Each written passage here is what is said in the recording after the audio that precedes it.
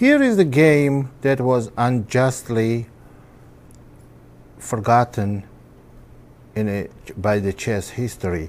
Game was played between Nigel Short and Jan Timman. Let me tell you a few words about Nigel Short. I was his opponent's second in a world championship match. I studied, uh, okay, my prodigy was the um, uh, very famous Gata Kamsky. I studied Nigel Short very carefully. I started it, I, st- I studied his weak and strong points, and I came to conclusion that he is maybe one of the best players and the strongest players with initiative that ever played this game. He is extremely dangerous when he owns space, when he has space advantage or initiative. That's why in his game, in his match against Garry Kasparov, Garry Kasparov tried to not give him any kind of initiative, and he succeeded. That's why he won his match convincingly. But here is the game that I want to go through that Jan Timman was not careful enough and got very passive position in the opening. And let me see why, let me show you why it's one of my most all-time most favorites and why I like this game very, very much. e4, knight f6, Alekhine defense, e5, knight d5, d4, d6, knight f3, g6. It's one of the variations of Alekhine. Bishop c4, knight b6, bishop b3, bishop g7. And here are several moves white has. One of the moves, knight g5. I used to play this move. And um, it has uh, interesting possibilities. So, but game, the move that played by Short is also one of the possible possible continuations in this position. Queen e2, you see black cannot play bishop g4 because bishop takes f7, king takes f7, knight g5 check, followed by queen takes g4. So what happened in this position Uh, black played knight c6, white castled. Again, black cannot play bishop g4 for the same reason, castle. And now white played h3. That's a very strong move and the correct move because now bishop g4 may be a problem for white because what white wants to do to maintain their pawn on e5, it's a very strong pawn because it deprives black from to some uh, space in the center. And in order to keep this pawn on e5 alive, white must stop bishop g4 because bishop g4 will attack the d4 pawn as well as e5 pawn. You see, they're putting more pressure on e5 by pinning white's knight. So h3 is a strong move. Black plays a5. Well, a4 they want, and white plays a4. d takes e, and d takes e, and knight d4. Now, we know the rule that if you have space disadvantage, try to take some minor pieces off the board. So that's what Timman does. Knight d4, knight takes d4, queen takes d4. Now e5 pawn is hanging. Rook e1 is the only way to defend it. And after uh, rook e1, e6, knight to d2. White is moving knight to f3, which will be very well placed, and also protecting the pawn on e5. After knight to d2, black goes knight d5 and knight f3 and queen to c5. Now, knight on d5 stands well because it's difficult for white to kick this knight out of d5 because after c4, they're going to have a strong outpost on the b4. White goes queen e4, and you can tell that it's black has to be real careful or white can develop very strong attack after queen h4 followed by bishop h6 so after queen e4 black plays queen b4 trying to exchange queens and white plays bishop c4 obviously white does not want to exchange queens because you have space advantage.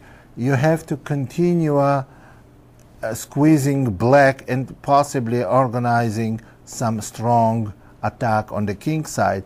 So you cannot go c4 and you don't want to come back with a queen. So bishop c4 is a good move.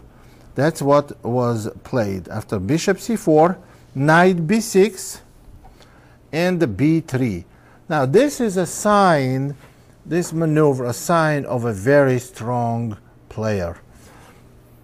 Now white gives up a bishop for a knight gives up a two bishop advantage to black and also messes up its own pawn structure. But what do they get instead? They give black's bad bishop on c8 and they get potential of instant attack and very strong attack on a king side. Also, at the same time, there is a threat of bishop a3, winning exchange, winning rook on f8. Black goes rook e8. And in this position, after rook e8, um, uh, white has clear plan. They have to get dark squares um, on the uh, king side. So move is rook to d1, and after queen c5, queen to h4 black goes b6, they have to develop the bishop on b7 because this bishop does not have any other square to be developed at. Bishop d7, bishop c6 is another option, but then bishop gets the same diagonal and taking the c6 square away from black's queen. So b6 is the normal logical move. Bishop e3, queen c6, and now bishop h6. That's another very, very strong maneuver. Why not bishop h6 right away? Because after bishop h6, black can play queen f8, defending the dark squares. After bishop a e3, black had to play queen f8 anyway, but they want queen c6. But now white goes bishop h6. Now, after bishop h6, we can tell there are some immediate threats, kind of knight g5 and so on. And after bishop h6, black has to be very, very careful. Black played bishop h8, so they don't want white to exchange dark square bishop and penetrate with the queen f6 and possibly rook d4 later on. So Obviously, black does not want to exchange the bishops. Uh, after bishop h6 and bishop h8, rook d8, very strong move. Obviously, rook takes d8 is not possible because queen takes with a checkmate. Um, after rook d8, bishop b7 must be played, and rook a to d1. And now it's obvious that black is in serious trouble. The threat is queen to e7. Queen to e7 uh, will put black in totally hopeless position, then threatening rook to d7, and you see the f7 uh, square is in big trouble. So bishop g7 this move almost has to be played by the black Now white wants to play rook to d7. You see, by playing rook d8, white got full control on d file, and now they want to keep both rooks alive. They don't want to exchange pieces. Rook d7, and bishop h6 is not good here because after queen takes h6, rook takes f7 is a threat. And interestingly enough, black cannot even play queen e4 in this position. It looks like queen e4 exchanges queens, which is a good thing for black. But queen e4 loses to rook takes f7.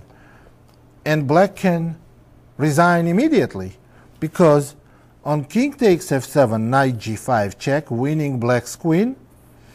And on the rook queen takes h4, rook takes g7 check. And uh, uh, white takes the black's queen next move and uh, has an extra piece. So in this position, black has no choice but to play rook f8. So this position is, in my opinion, is totally lost. What does white have? White has very strong rooks on d file. They have absolutely squeezed black's king side and they have domination of all pieces. There should be decisive continuation. White exchanged black's bishop, uh, well, uh, dark square bishops, bishop takes g7 and rook to d4. Now you see that they are thinking about possibly swinging rook to the king side. Black plays rook a to e8. There is not much to do for black. Black has no plan, no future. Queen f6 check, king g8. And here goes h4. What white wants is very obvious. h5 and h6 to checkmate black's king. And after h4, h5 is forced. And here comes most original plan. And that's what games the, that's what makes this game so fascinating. This is you cannot see it too often what the way black white won this position. Black, you have to notice that black is in total Zugzwang.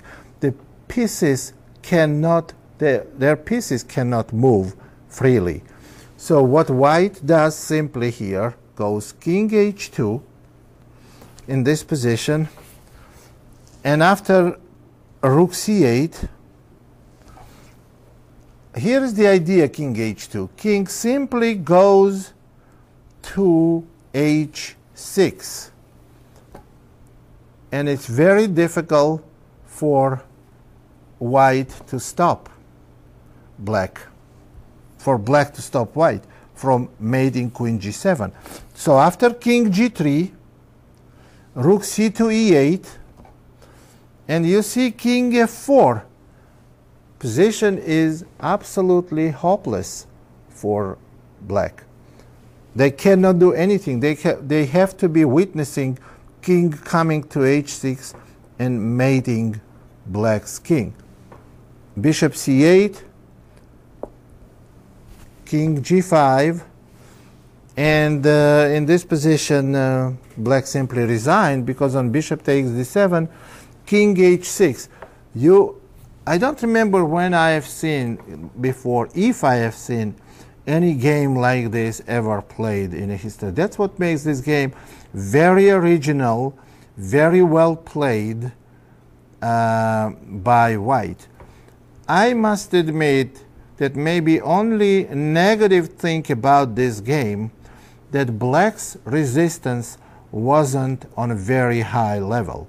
But it was played between uh, two very strong grand, super grandmasters in a very strong tournament and to make the plan to, to win the game where you go from king to g1, h2, g3, f4, g5, and h6 and checkmate your opponent's king is very, very fascinating. Well, I gotta admit that I have not seen too many of those games. I have not seen any of games like this. That's why it's one of my all-time favorite games in chess.